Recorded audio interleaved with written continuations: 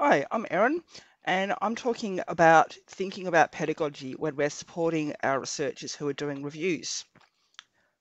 So as liaison librarian for reviews at Federation University, my role is to support the students and researchers conducting systematic, scoping and other types of reviews.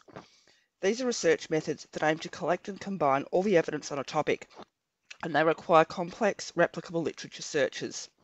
Over time, requests for individual consultations on reviews significantly increased. We also began to have lots of master's students who'd been assigned reviews as assessments, booking appointments, and more requests for classes on searching for reviews.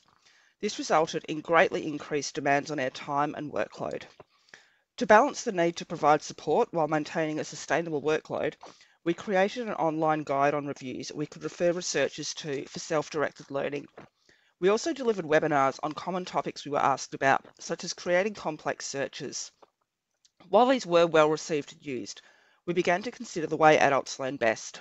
Good pedagogy is important for student engagement and learning, and researchers are learners too. So we redesigned the way we support researchers doing reviews. We focused on using a flipped classroom, active learning, and developing a collaborative learning community. To do this, we developed an open education resource, or OER, on scoping and systematic reviews that included videos and activities, and a series of online workshops that focused on applying the skills of complex searching rather than passively receiving information. In a flipped class, students look at contexts such as readings or videos before the class. This is so class time can be spent on problem solving, applying the content, and collaborating. They can help improve engagement and knowledge retention, resulting in deeper learning. They can also lead to knowledge transfer, where skills learnt in one context are able to be applied to another. We asked the workshop participants to read the relevant section of the OER, watch the videos and do the activities before attending the workshops. We did this because explaining the systematic search process takes a long time. The flipped class meant we could use the time in the workshops for hands-on practice of the content rather than information delivery. The researchers could get feedback and address gaps in their knowledge immediately. They were also able to go back to the online content as required for revision. Active learning aims to support students to apply learning and concepts in a real world context. It asks them to do something, not just passively listen to information. We used active learning in the OER as we created activities to reinforce the content and allow for application of the literature searching skills. Most of the time in the workshops was spent on hands-on group activities, so the researchers could apply and use the skills and knowledge already learned from the online content. This helped the researchers learn how to search in practice. We designed the OER and workshops this way so they could apply their learning in a practical way, making connections between the activities and their own review.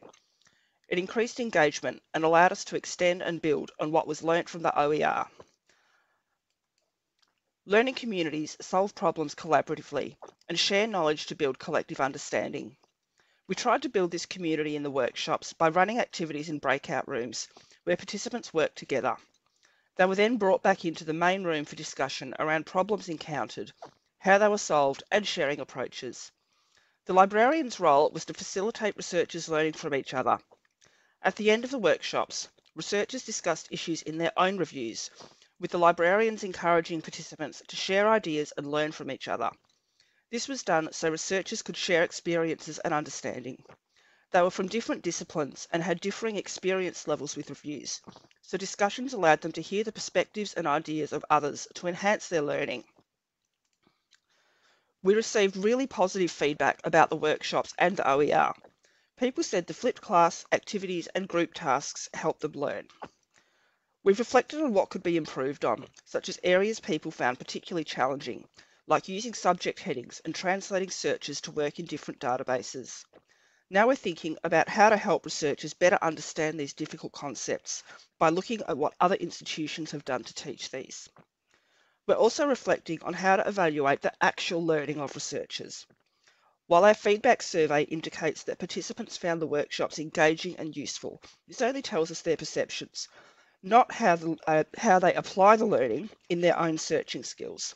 If we can find a suitable method to evaluate participants' learning, we might be conducting some research about this in the future. Thank you.